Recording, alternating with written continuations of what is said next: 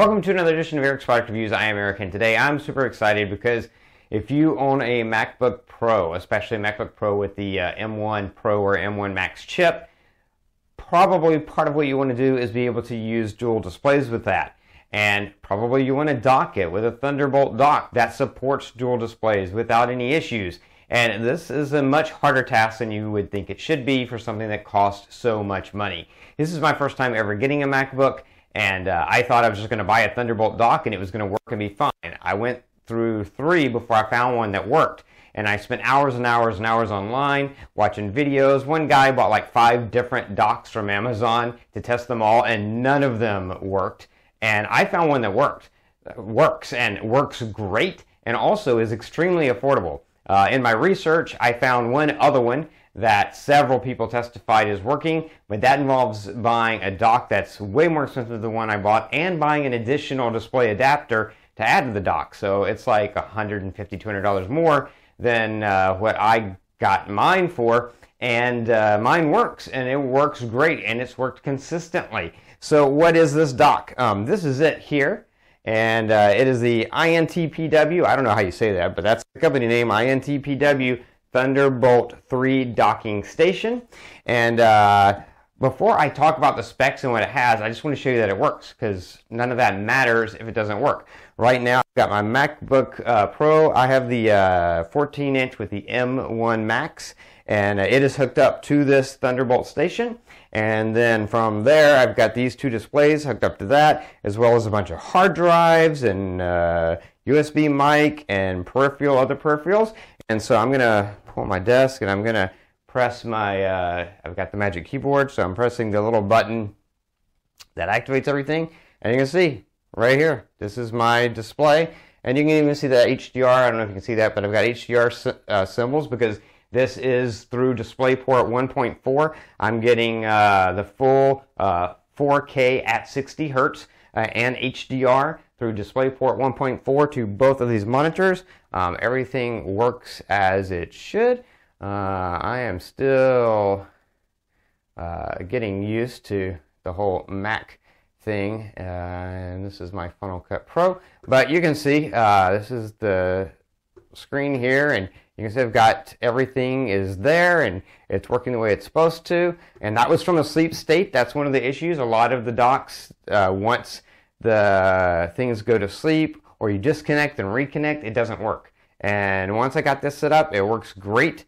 Um, part of that may have to do with uh, you just got to make sure you get all your settings right, but a lot of the docks, it didn't matter what you do. And these were people that have had Macs before and knew what they were doing, whereas I didn't. Uh, but apparently, even a lot of the expensive docks, even ones that Apple says will work, people were having issues with.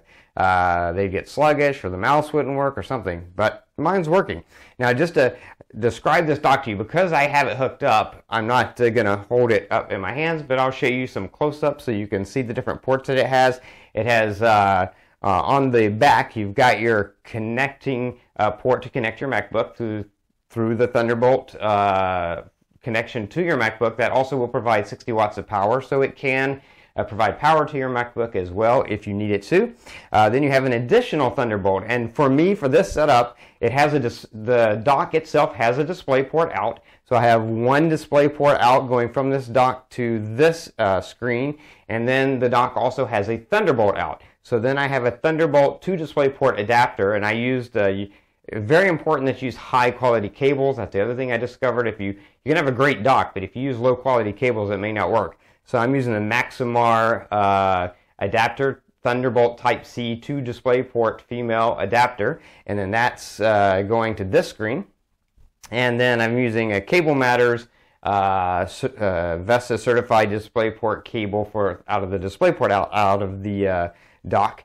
Uh, then besides having that, and that's how you use your displays, the Thunderbolt Type-C uh, is for the second display, and then just the display port that's built into the dock for the first display.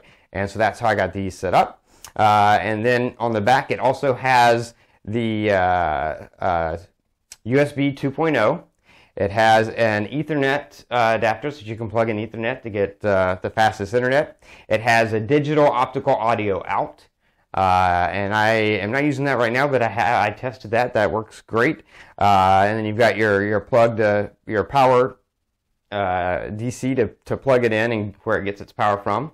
Then on the front, you've got your audio out, uh, your audio out standard jack, 3.5 millimeter jack. You've got a trans flash and an SD card slot. So I love that you have both and they're separate so you don't have to use an adapter. If you have a micro SD card, you've got a spot to plug that in. You've got three uh, USB 3.1 uh, ports. Two of them are Type C. And then the other one is standard USB, but those are USB 3.1 with 10 gigabits per second speeds. Then you've got two additional uh, standard USB ports that are 3.0. Uh, so they get 5 gigabits per second uh, data transfer. And then you've got an additional USB uh, 2.0 uh, out, which you can use for peripheral or printer. I've got my printer plugged into that, or a USB mic or mouse. Uh, if you're using a wireless mouse and keyboard and you want to plug that in there, you can use that. So those are all the ports that come with it. That that's what I have plugged into this, and uh, as you can see, it's uh, the screen works great. It works through uh, waking up and sleeps. And uh, there are some, one of the things that you'll see a lot of people have issues with with using a dock and a Mac is if you set your Mac to go to sleep, uh, these drives, the Mac wants you to eject them before it goes to sleep. So when you wake back up, you get all these messages about ejecting. Uh, but for me, I just set the Mac just not to go to sleep. Um, I did some research. It doesn't seem like that's a big deal. Uh, but there is also an app called Ejectify, if you want to look that up. Uh, that will also help. But Anyway, uh, this is a review of this docking station. This is the packaging that it came in. Uh, really great. Uh, INTPW is the, the brand. It does come in this space gray color as well as a black.